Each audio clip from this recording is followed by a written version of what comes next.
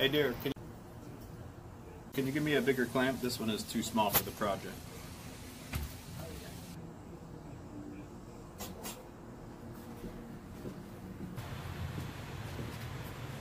Is this okay, my love?